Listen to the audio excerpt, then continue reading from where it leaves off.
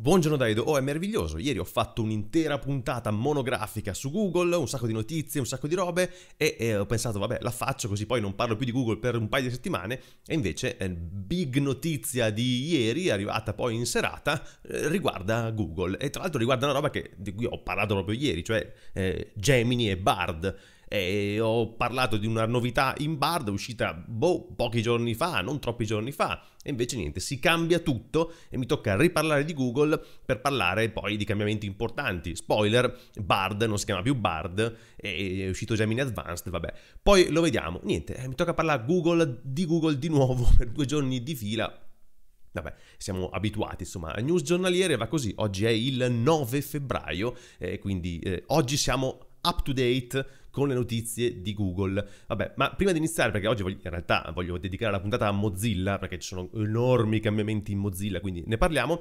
Prima di andare però vi ricordo una cosa importantissima, fondamentale, e cioè che se siete il pubblico e il, mm, eh, così, il target e gli sviluppatori, i DevOps, e i, i, full stack developer del cloud, del cloud native italiano, che usate Kubernetes, che vi piace partecipare alle community di Kubernetes, alla discussione che si fa intorno a Kubernetes e al cloud, c'è un evento fondamentale che non vi potete perdere assolutamente è in Italia ma è internazionale avremo degli eh, speaker eh, fighissimi interessantissimi fondamentali.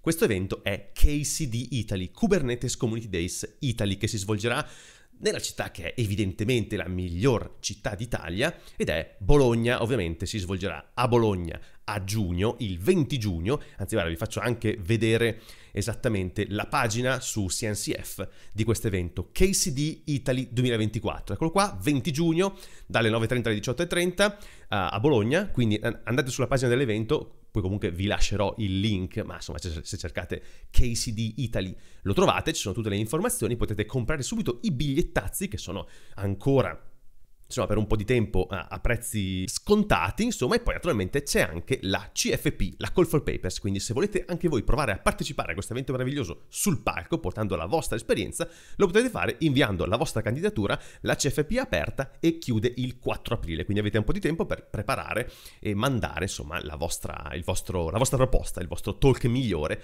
per questa community fantastica italiana ma internazionale di Kubernetes Community Days. Quindi vi ricordo, Bologna, 20 giugno 2020, 2024.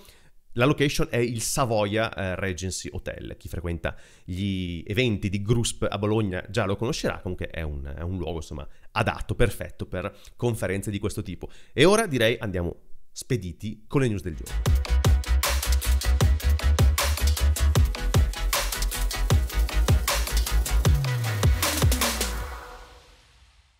Allora ve l'ho detto, la puntata di oggi è dedicata a Mozilla perché ci sono grossi cambiamenti, almeno un grosso cambiamento che però, diciamo, denota un cambiamento di direzione, una strada ecco, che Mozilla ha deciso fortemente di percorrere e con l'annuncio ufficiale sul blog di Mozilla proprio va a, a ufficializzarla ed è il cambio di CEO. Cioè la CEO di Mozilla, o almeno quella che era la CEO di Mozilla fino appunto a ieri, cioè Mitchell Baker, ha deciso di fare un passo indietro e eh, ha lasciato la sua poltrona, insomma la sua sedia di eh, CEO. E infatti in questo comunicato dice ha deciso di fare questo cambiamento, o questa transizione dal ruolo di CEO a quello di Executive Chairwoman, quindi praticamente eh, sarà, in, eh, sarà, la presidente esecutiva di Mozilla Corporation e non più la CEO di Mozilla Corporation. Tra l'altro lei era già stata Executive Chairwoman per, uh, per un po' di anni, sempre in Mozilla. Lei ha passato 25 anni in Mozilla, quindi è una tra le fondatrici ecco, di questa azienda. E dice, questa mossa è guidata dal desiderio di focalizzarci di più eh, sulla leadership e sulle sfide che abbiamo davanti perché appunto quindi Mozilla vuole dedicarsi primariamente ad aree di business specifici per, per le quali appunto serve un ruolo dedicato che guidi il business dell'azienda. Eh, qua non verranno citate esattamente quali sono queste aree in cui focalizzarsi eh, specificamente, ma lo vedremo poi.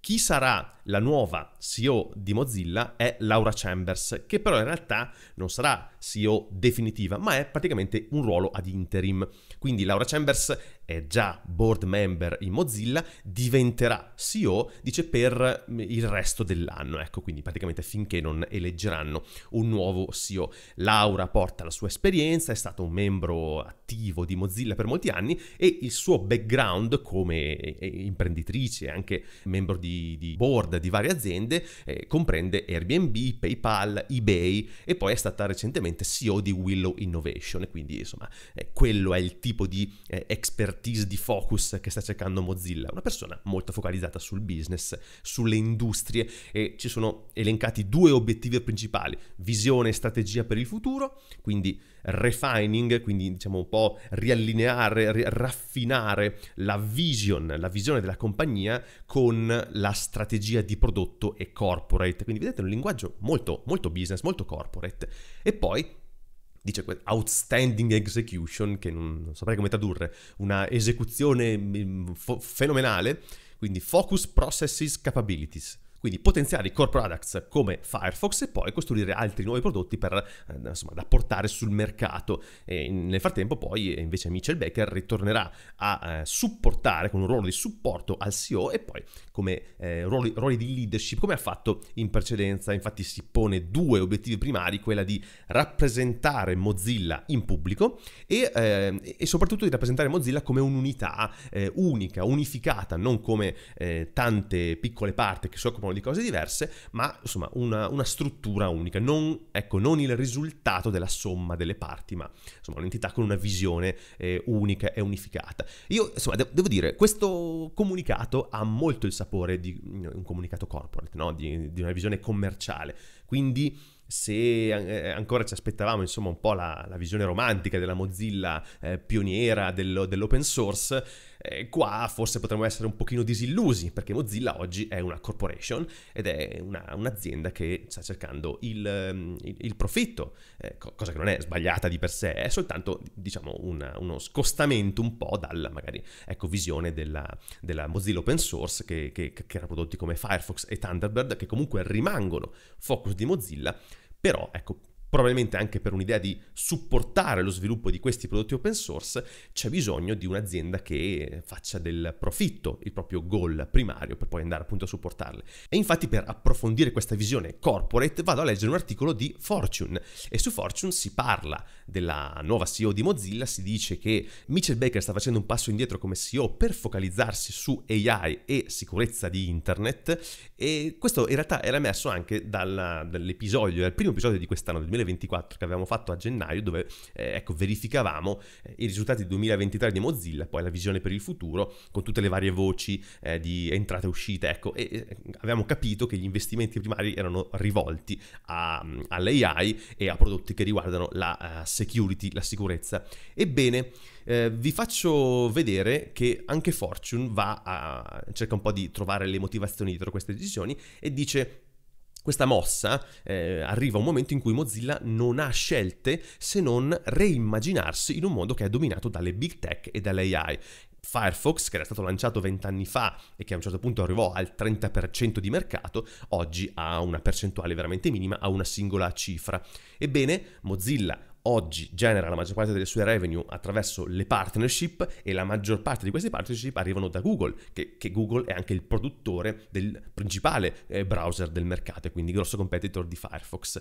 Ma l'AI ha dato a questa fondazione no profit e alla co-founder Baker, appunto ex, CEO, una nuova missione per contrastare i deepfake e i problemi con la privacy, la data privacy, ecco, oltre al potere delle big tech. Quindi l'anno scorso ha lanciato la startup Mozilla.ai e oggi è eh, concentrata su prodotti come Mozilla Monitor e proprio Mozilla Monitor è appunto un, un annuncio insomma, di un nuovo prodotto eh, proprio lanciato proprio nei giorni scorsi da Mozilla. Mozilla Monitor in realtà era qualcosa che già esisteva, esisteva come Firefox Monitor ed era ed è un prodotto che gratuitamente vi consente di inserire la vostra mail e fa costantemente scraping della vostra mail per capire se è presente in data breach. È una sorta di have I been pwned, no? Eh, quindi lui, voi state abbastanza tranquilli con il vostro account Firefox perché quando questo viene breachato, compare in qualche breach, ricevete una mail che vi dice ehi attenzione, sei finito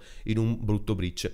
Qual è la novità di Monitor? Che arriverà un un update, ecco, un prodotto aggiuntivo che si chiama Monitor Plus, che al costo di 8,99 al mese, 107,88 all'anno, farà al posto tuo la richiesta ai data broker per eliminare i, dati, i tuoi dati presenti nei, nei vari breach. Questo lo farà considerando come dati non solo la tua email, ma anche altri dati che vorrai fornire. Infatti, come estensione di Mozilla Monitor, c'è anche la possibilità di fornire oggi altri dati, non solo la mail, ma anche dati personali come il nome e cognome, data di nascita, luogo di residenza e anche informazioni sul, sui parenti. E con queste informazioni, che saranno comunque protette dalla Mozilla Privacy Policy e criptate, salvate in modo sicuro, ecco, con questi ulteriori dati Mozilla aumenterà l'efficacia della sua ricerca su, sui web, su, su, sui data breach, per scovare se per caso qualcuno di questi dati è apparso in un breach e notificarvi. Quindi insomma vedete questo è il primo passo, uno dei primi passi di Mozilla verso la creazione di una suite di prodotti che sono monetizzabili, ecco, e consentono di dare dei servizi a pagamento agli utenti e per un po' staccarsi dal, dalla dipendenza delle big tech come appunto Google e dalle revenue che derivano dal, dal mettere praticamente Google come motore di ricerca predefinito in Firefox. Firefox, creando dei prodotti, cercando di fare un business. Non sappiamo come andrà, però eh, insomma le mosse sono in questo senso. Se volete bene a Mozilla, insomma, c'è da sperare che, che, che vada bene, anche perché insomma Firefox e il futuro di Firefox un pochino dipendono anche da questo.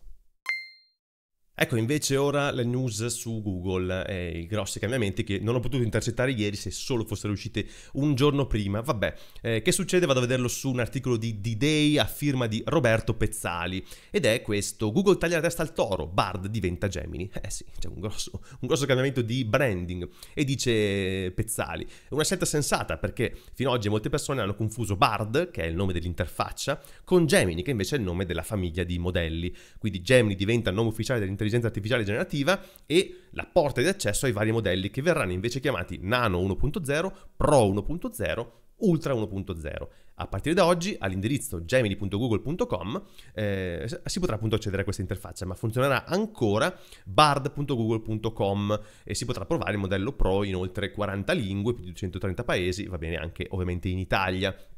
Non è questa però la vera novità arrivano anche Gemini Advanced e un'applicazione mobile per iOS e Android. Queste non sono ancora disponibili in Italia. Gemini Advanced sarà la versione premium di Gemini, permetterà di accedere al modello Ultra, in pratica il modello di intelligenza artificiale più grande, più eh, capace, insomma Gemini Ultra. Poi sull'articolo seguono tutte insomma una serie di eh, dettagli tecnici.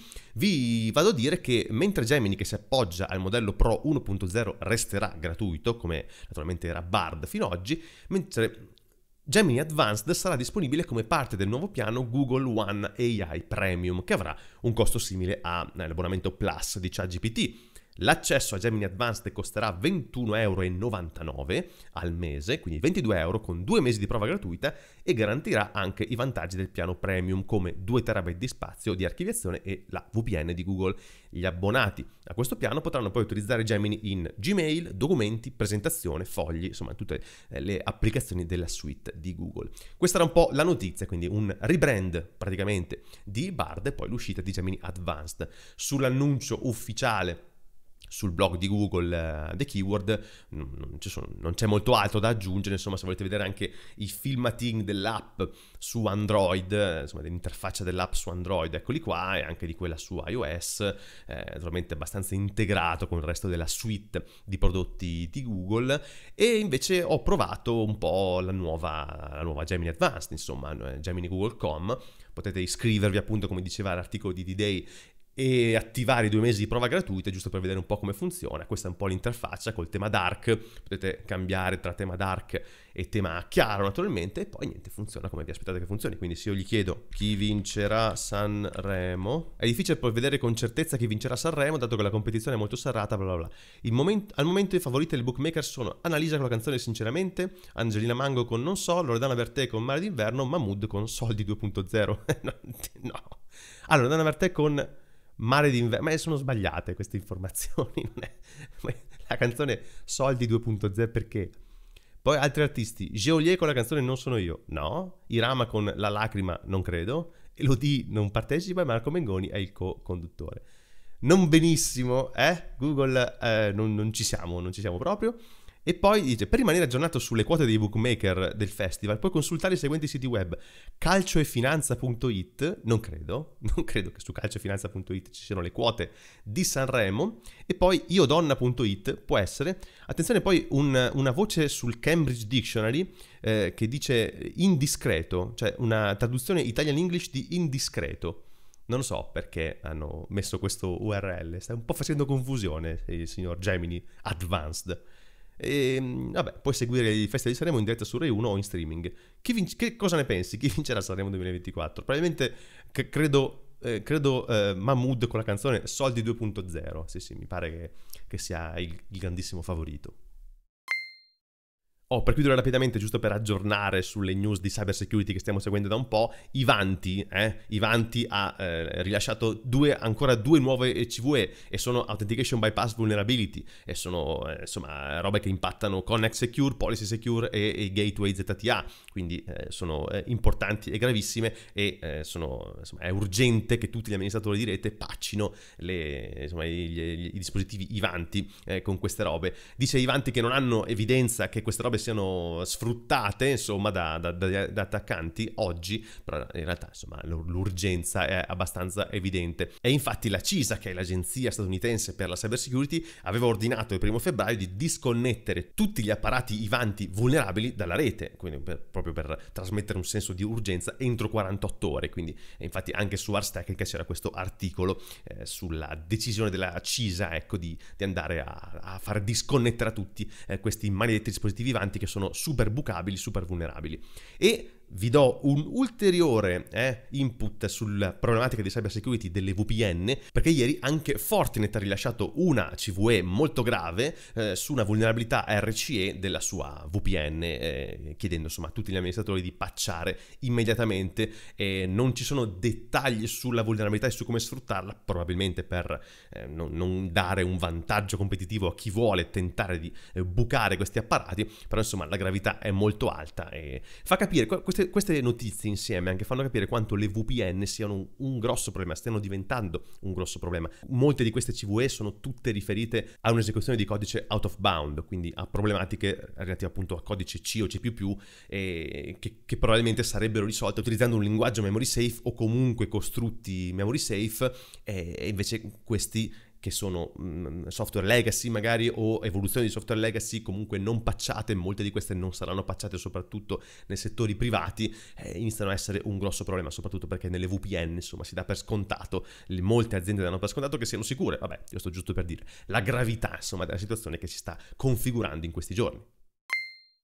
Per chiudere due link velocissimi, il primo nearbywiki.org, questo è un wiki di posti interessanti eh, geolocalizzati, quindi qua per esempio sono a Bologna, vado a vedere che cosa c'è qui in via San Felice c'è Santa Maria della Carità, questa è una chiesa che c'è in via San Felice e, e basta, vi dà appunto la, la, la, location, una breve descrizione ed è tutto gen- user generated. Qua per esempio è, c'è San Nicolò di San Felice, insomma ci sono un po' di indicazioni su posti, questa è sicuramente Porta San Felice, eccola qua, Porta San Felice e spiega un attimino che cos'è, tra l'altro c'è anche un, eh, una possibilità di andare a vedere più dei dettagli, guardate che figo questa, questa paginetta, questo fa riferimento a Wikipedia, quindi va a prendere le informazioni da Wikipedia, formatte in un certo certo modo e poi vi fa vedere appunto se, se siete interessati ai posti, uh, cosa c'è intorno a voi, ecco che magari non conoscevate o andate in una città nuova e volete vedere cosa gli utenti vi, eh, vi suggeriscono. Qua per esempio c'è la Certosa di Bologna, insomma nearbywiki.org mi sembrava interessante da condividere. E l'altro invece è un piccolo articolo di Rant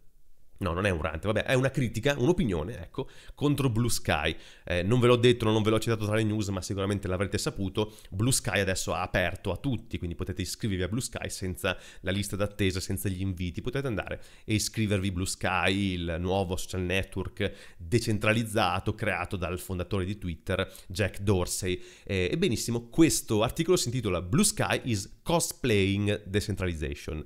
Non c'è bisogno che ve lo traduca, e parla un po' di, de, insomma, di come Blue Sky sta eh, portando avanti questo concetto di decentralizzazione in, in una forma che insomma non è esattamente decentralizzazione in formato, in, insomma, nella sua forma ideale. E è interessante anche per capire un pochino come funziona, come funziona questo protocollo e un'opinione, insomma, una, una, una, cosa opinionata da qualcuno che ne sa. Come, ripeto, Blue Sky is cosplaying decentralization, comunque naturalmente questi link ve li lascio nella descrizione dell'episodio. E io mi fermo qui, grazie per aver seguito anche questo buongiornissimo, vado proprio in relax verso il weekend, quindi vi auguro un buon fine settimana, noi ci rivediamo alla prossima settimana per altre news frizzantissime, spero non aggiornamenti da Google perché basta, ne abbiamo fatto troppe volte. Ciao!